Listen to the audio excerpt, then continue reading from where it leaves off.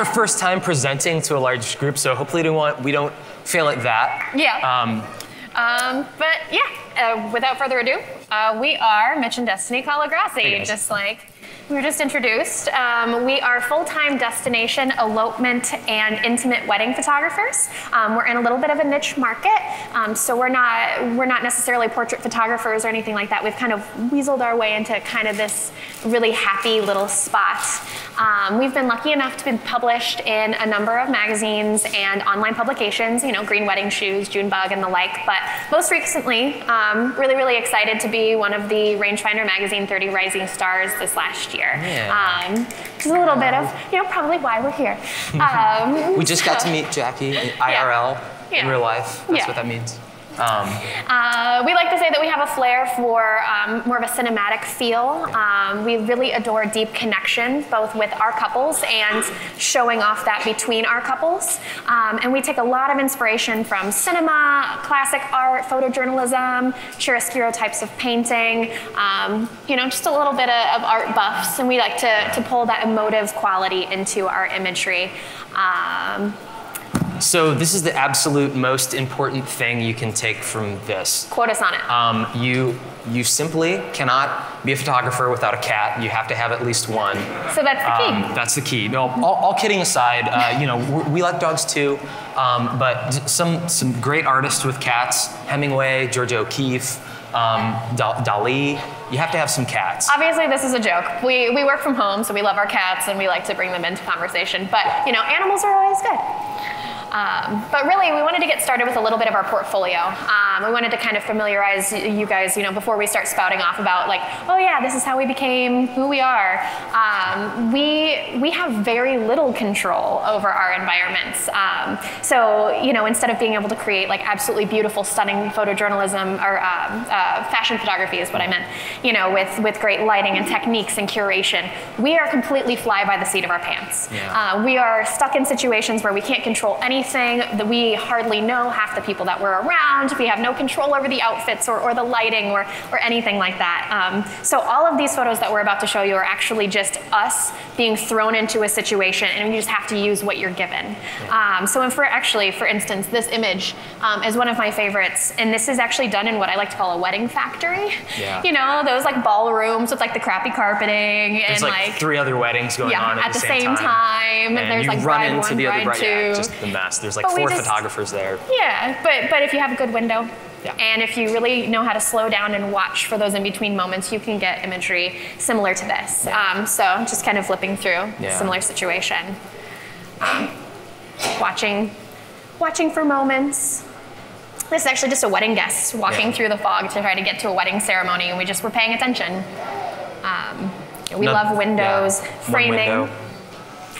natural framing paying attention to to bits and pieces of people not just like their faces and, and things like that paying attention to you know sometimes people are like all right what do you want us to do next and it just ends up turning into something um,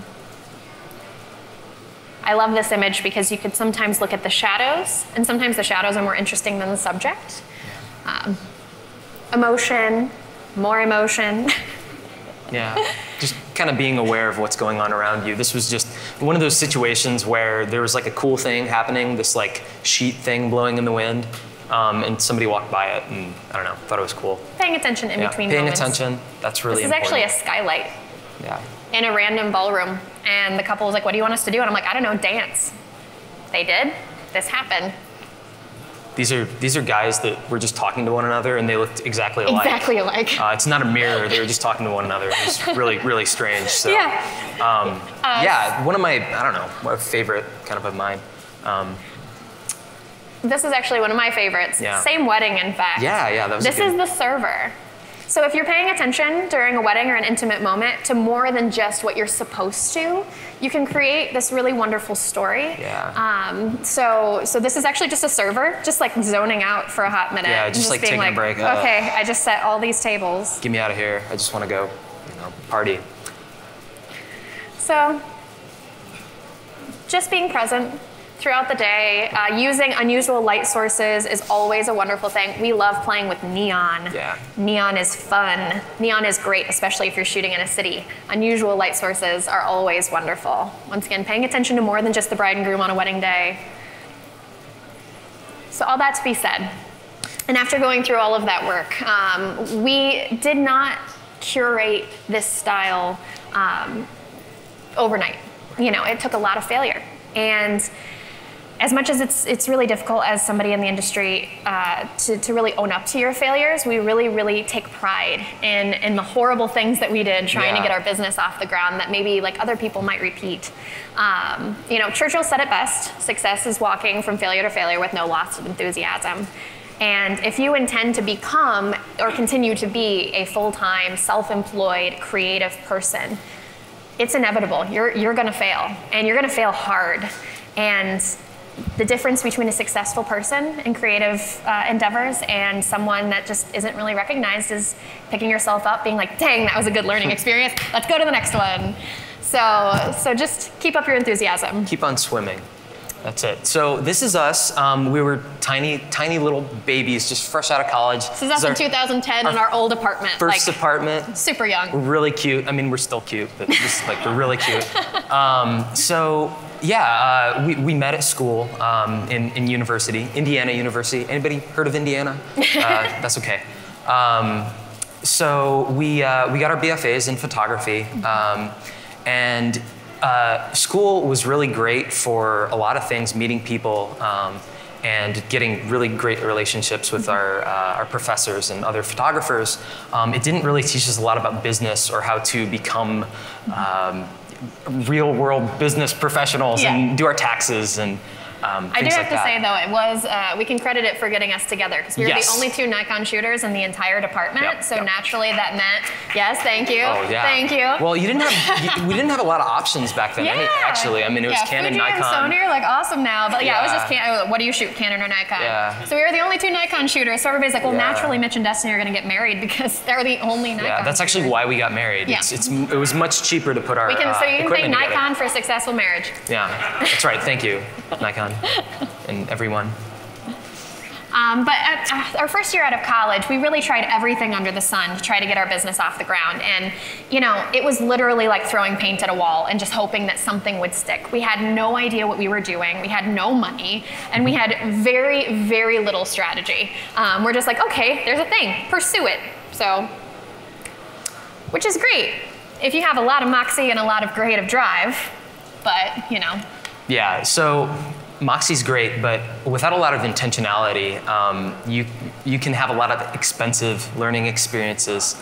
Um, so we spent a lot of time trying uh, and failing our first year. We we had so much drive to do a lot of stuff, but we had no direction.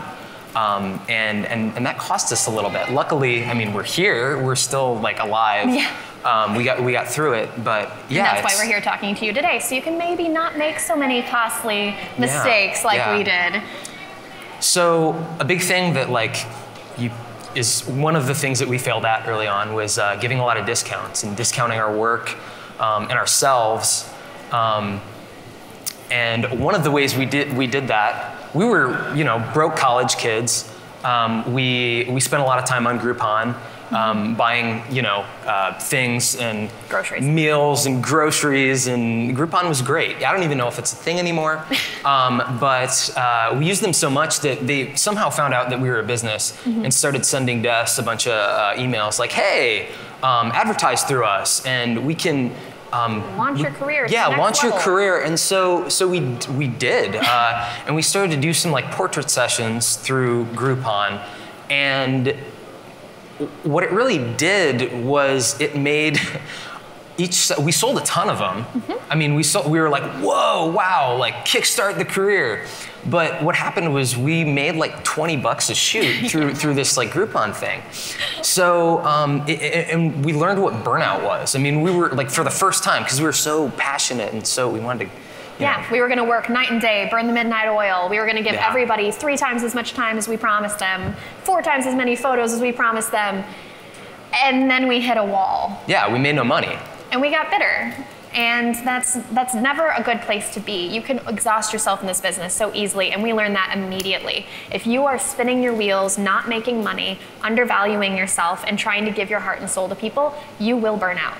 And burnout is very real, and it's very, very difficult to dig yourself out of. Yeah. So this was this was another. Um, you know, we, we, we needed to learn how to set boundaries. Um, and so after the Groupon deal, uh, we decided to give discounting another go um, through through our Instagram this time. Uh, and you know, we had this new fancy Instagram business account. We were so cool. Uh, but so we didn't really think through the f- fine print through doing this discount, and we ended up nobody saw it except one of our brides that we already We're already talking had booked to. or we were talking to. Hadn't booked yet, just talking to. And so she comes to us and is like, "Hey, hey, can can I have that discount?" Even though she was going to book us. Um, so we just ended up losing out on money, um, and that's bad. That- there's no, yeah, nothing fun about that. Um, Throwing around discounts willy nilly is kind of something that we, we like to caution people against, especially when you're getting started. There are a lot of promotional things that you can do other than just being like, hey, you know, I promise you don't have to pay me as much to do that awesome job. Um, we've learned other ways, other better ways um, that, that really really kind of gets you past this whole like discounts breeding discounts philosophy. Um, you know, there's an old adage that you know your your cheapest customer is going to be the toughest one, and it's true. Um, really, like when you get to the point where you're already discounting your work to someone, they're already seeing you as less of a value. Um, so they're going to want more out of you. They're going to want you to work harder for the little that they're paying you.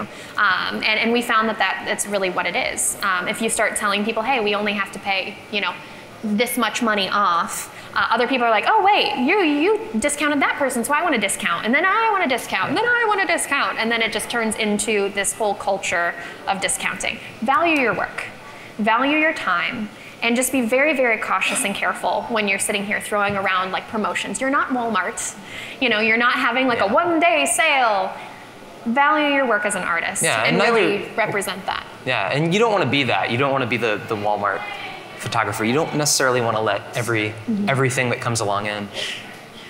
Um, you know, that being said, I mean, there are promotional discounting things that you still can use. Not saying discounts are all entirely bad, but just make sure that if you are discounting yourself, or if you're doing something for free, or if you're doing something for a friend or a family, that you really get something out of it. You know, we've done things all the time where we're just like, oh yeah, well we'll just we'll crash with a friend instead of you know taking the full full travel value. Yeah. Um, why? Because I know for a fact this amazing wedding that's like on the edge of a cliff in Ireland is going to be marketing fodder. You know, so make sure it's worth something to you. Make sure you're setting your limitations. Make sure you're comfortable and read the fine print. Just go through, read the fine print. You'll be fine. you know, other things that we've learned um, to do instead of discounting is, and it seems like it goes without saying, but treat your clients like your family. You know, when people sign with us, we're literally talking to them all the time. I got a phone call when we were on vacation in Ireland from a bride who was so sad because her brother wasn't coming. And she just called me, like me. I'm not her, I, I mean, I am her friend now, but at the time, you know, I'm not her friend, I'm not her family, but she thought to call me because I know what it's like to experience weddings. You know, we're trying to make ourselves indisposable to these people so that they feel loved. They, we build that trust. And so that by the time we're leaving their wedding, like we were just at a wedding a couple of days ago and our couple was hugging us and saying like, don't leave, drink with us, like put your cameras down, it's cool, like we have an open bar. Just like, girl, I gotta get your photos home safe. Yeah. Like, you know, so, so just treat your clients like they're your family and they will turn around and tell everyone about you. Yeah. I can't tell you how many weddings we've been to where we get to party with the bride at the reception because her friend got married and wanted to hire us because we were following her around with a bottle of water saying like, girl, you need to sit down. Like, let's make these awesome photos. Let's give you a break. Let's give you a hug. Do you need anything? You know, that goes further than any discount will. Yeah, and it also, I mean, it, it makes you build this trust with with your clients that um, is really important.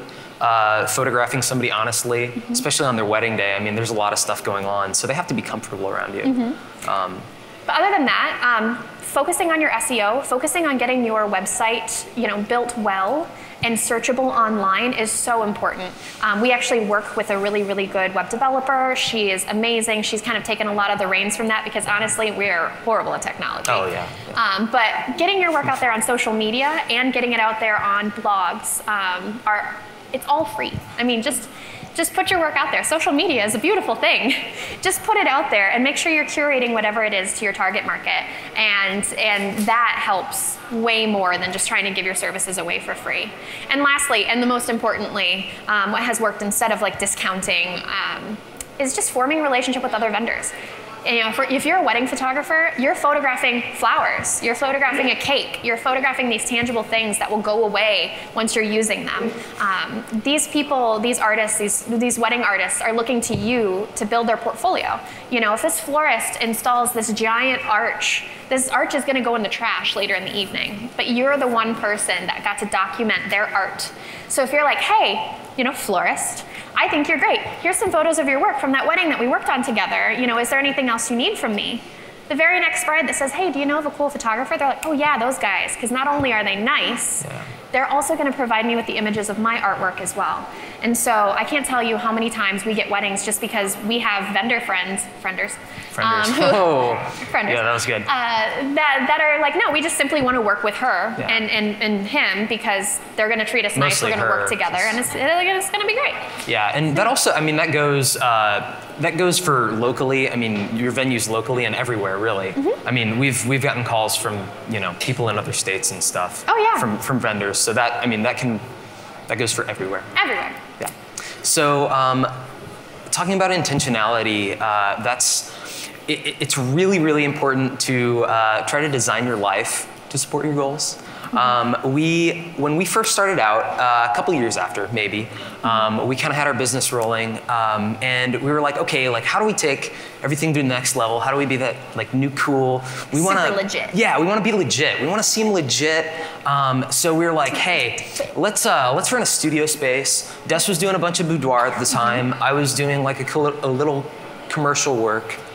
Um, and we were like, yeah, that's a that's a great way to uh, you know, seem seem really legit. Have our name on a sign. Um, so and have a studio space. And have a studio space, yeah. So at the same time, what our goal really was for our wedding business was to travel and be kind of free of where we were. I mean, we live in Indiana. Mm-hmm. Um, our, our market's not very pretty in Indiana. Love it, you, Indiana. It can be. Yeah, it can be. It's uh, we have mixed feelings about Indiana, but obviously people are great. The scenery not so hot. Yeah, sometimes. I mean, you know, corn. Corn's pretty. I mean, I you know. Anyway, so so so we wanted we wanted to travel and we wanted to see the world and we wanted to do destination weddings and elopements. Um, and and we had this studio kind of keeping us keeping us down. I mean, it was kind of expensive for us at the time. Yeah. It was like uh, an anchor. I mean, we wanted to be out in, out in the world, experiencing new cultures. But then we're like, oh, but we were supposed to have a studio space, and this is a horrible idea. And we have this big money suck where, um, it, and it doesn't align with our goals. Like, I don't know. So intentionality. Not to say don't own a studio space. Right. Own a studio if, space if that's where totally. where your heart is and that's where you're going. But what we're saying we is are, we are that's not where we were going. we were going in the opposite direction yeah. of that. Yeah. So our obviously like our decision, as it says, um, did not create more business. It hindered it. Um, so the studio space, it, it caused a lot of fin- uh, financial strain. Um, strain, and we discovered that we didn't even like working in a studio space, even for editing, even for you know just hanging out. We were there like a handful of times a week. So uh, yeah, we just it, it hindered business. So what we learned from the fact that we were not doing a very good job of, of setting up our lives for our goals and our success um, we, we really decided that we needed to just scrap this idea and just turn around and curate our lifestyle to support our end game. Um, so what we wanted to do, and this is not right for everybody, but you know, we want to travel the world, we wanted to see different cultures, we wanted to shoot in a different place like every week, which I know sounds crazy, but hey, we do it. Um, you know, we actually had to adapt everything, our living expenses, our, our, our lifestyle, everything to be fly by the seat of our pants. For instance, um, just what's right for us is we actually own a tiny, tiny house in Indiana near family. It's home base. We can afford it with our eyes closed. Um, we also have used cars. We're super not cool. We drive like a Subaru and a Fiat with a dent in the side. So like, you know, we're, we're cute. not like, you know, trying to like roll up with these cool cars. Um, you know, we're actually putting a hold on, on starting a family just because, you know, keeping living expenses low and, and our priority right now is travel. And, you know, we have two low maintenance cats. You saw them earlier. Um, instead of getting like dogs. I love dogs, but you know, Yeah, you can't travel a lot when, when you you, know, we're light packers, we're super sticklers for self care. All of these things help support this kind of like crazy travel lifestyle that we want to see our lives in, which is the opposite of everyone else in our lives right now. Like, the opposite. Everybody's starting families, everybody's settling down, and we're just like, how can we pull more out of our lives to be more wash and wear? Um, so it, it's kind of hard. It's a difficult thing to do, but but if you have a lifestyle that you want to live, support it with everything.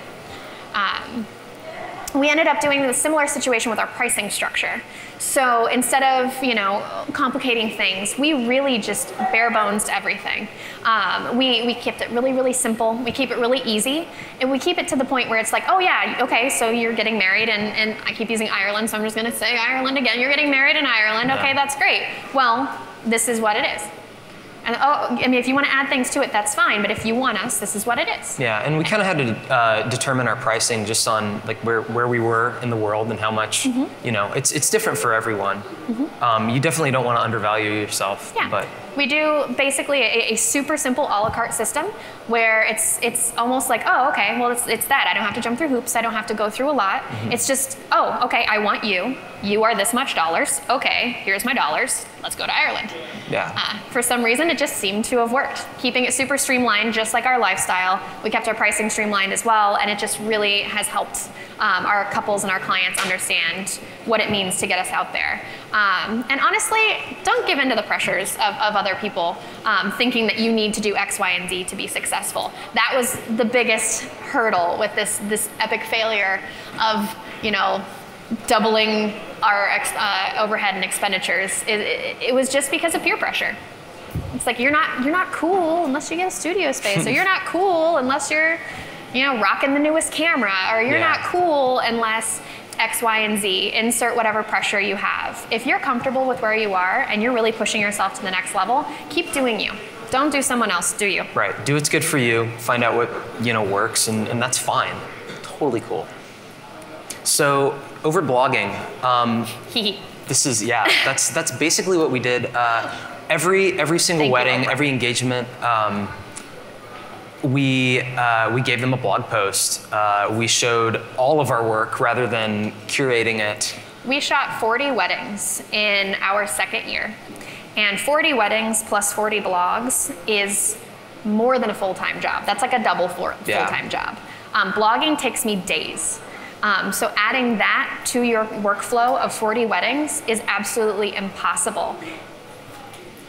Yeah, so we were, I mean, we were showing work on the blog that, that we didn't necessarily want to do again. Um, and we were showing people and, and just situations and work that we didn't feel like our, was our best. We just put it out there because we kind of felt we owed it to people and that, like, yeah, we should do that, right? Like, I don't know. It was, uh, and it just got us more work that we didn't want to take. Yeah, actually, we. It was just talked about a couple of, uh, you know, like an hour ago. It's just like curate your website, Yeah. curate things. Super. that you want to shoot again. Um, and that was, we didn't know that. We didn't attend this speech an hour ago. Yeah, You know, five years ago. goes into yeah, where, we- where all of a sudden we were just like, okay, we shot a thing. We got to show everybody the thing. And then we were like, well, we don't want to shoot that again.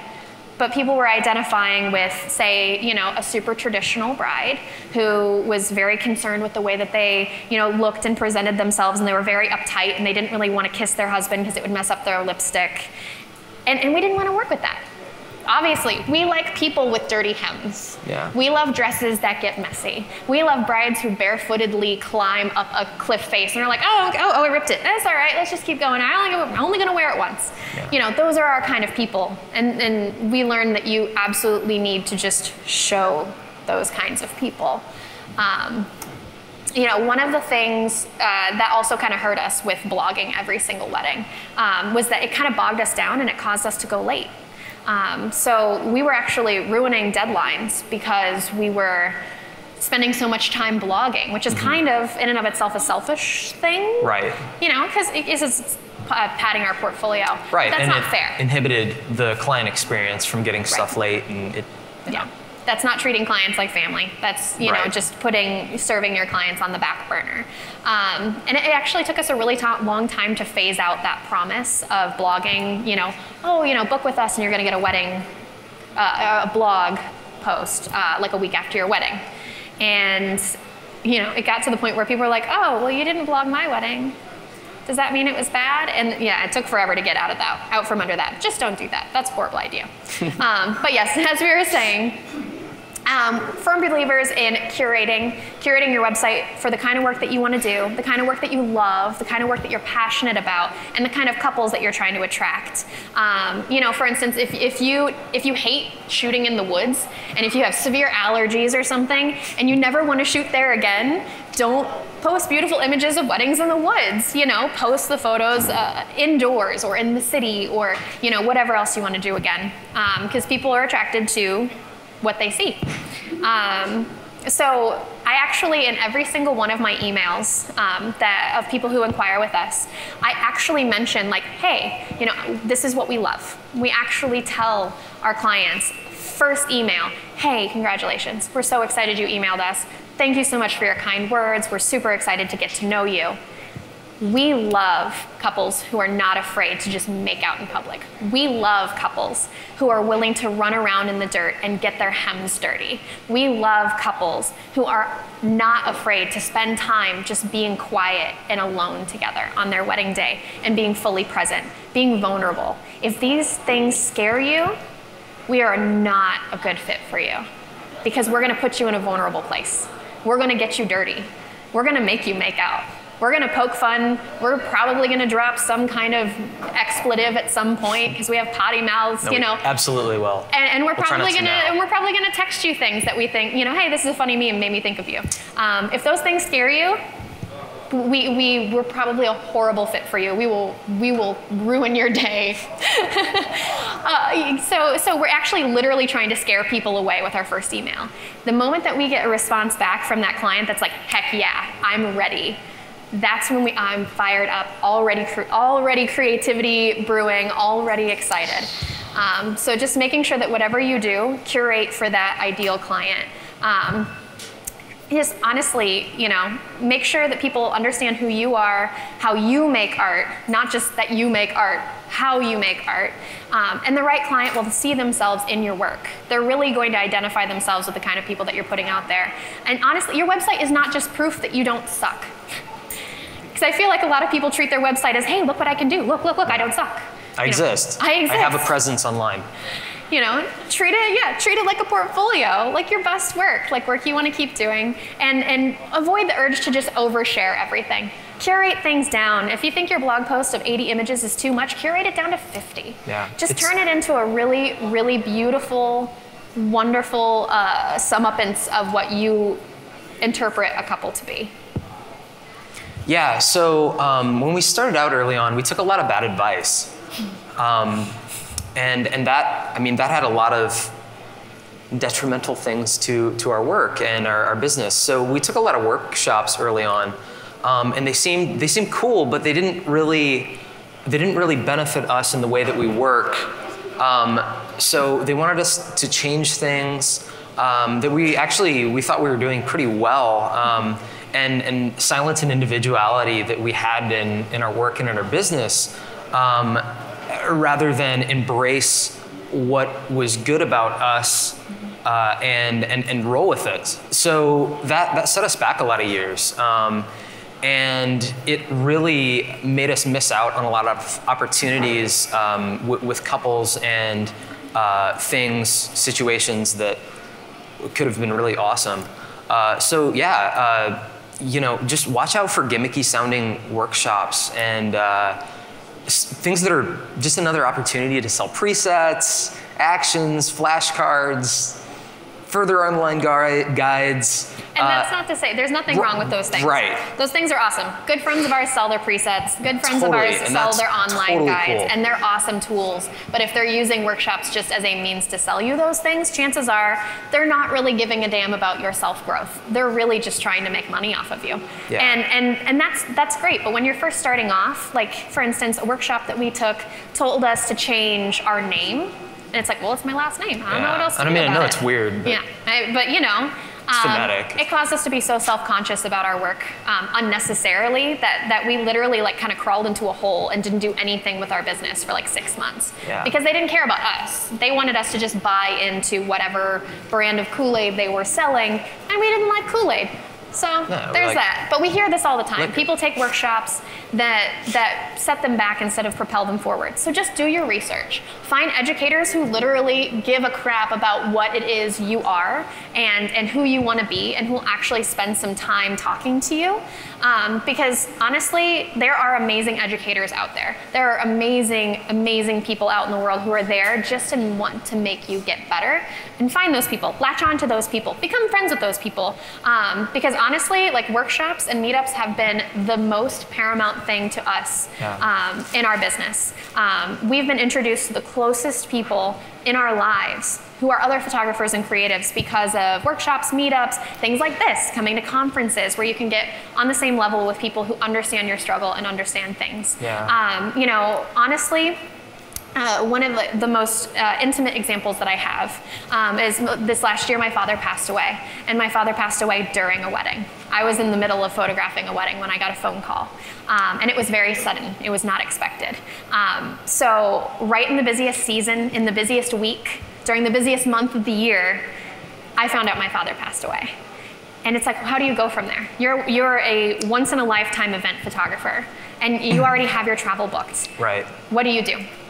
Um, our community and, and our, our nearest and dearest literally jumped on the bullhorn immediately. I didn't even know this. You know, obviously I'm with my family, I'm distraught, what have you. Mitch is trying to be my support system. And I find out later that I have message boards of people being like, we need to, you know, think about the Colagrossis right now. Who's available? Are you willing to shoot their wedding for free? Are you willing to, you know, grab a, a plane ride out to New York City to photograph this wedding for her? We need to pull together as a community and really support this couple right now. I was floored. Absolutely floored. And it's not because we didn't anything, you know, for them to to want to do that for us. It's just be a kind person, be a support system to them. And all of a sudden, you're going to have this amazing network of creative people who are wanting to support you. Um, so, so community over competition, I know, is overused, but it's it's really a thing Super, super true. the more that we have wanted to be in community with people rather than treating other people like our wedding competition, the more that we have just been blessed in spades. Um, so I can't say highly enough. Yeah. Find your tribe, love them hard, and, and, and support one another. It's huge, absolutely huge. Um, and of course, So yeah, guys, thanks. Thank you. Cow. uh, lastly, you know, uh, who would we be without a Star Wars quote? Because, you know, Star Wars. Um, Yoda, like Churchill, understands that, you know, we're only as strong as the failures that we overcome. Um, I always like to encourage people to keep their head up and to keep your mind in open, your feet on the ground, and, and really you can't lose. Um, you know, wear your failures like a badge of honor. Be proud of the fact that like you sold portrait sessions on Groupon 10 years ago. You know, just be like super about it, and and honestly, they will just continue to cause you to improve. Um, you know, the last little bit of, of thing that we've learned is honestly, the moment that you feel like you're winning all the time, the moment you're like, oh man, I'm above failures, I don't really fail anymore because I'm winning all the time that's when you're going to grow stagnant. That's when you're going to be the same. That's why you're going to be like that guy that used to do that really cool thing like five years ago, and then people are like, oh man, he hasn't really done anything in a while. Yeah. Why? Because you just kind of rest on your laurels. Keep failing. Keep taking chances. Keep hurting yourself. Keep doing whatever it is you think is too hard or too scary or too risky, and you'll become something eventually after a lot of uphill battle. So. yeah. Cool, guys. you. Thanks. Woo-woo.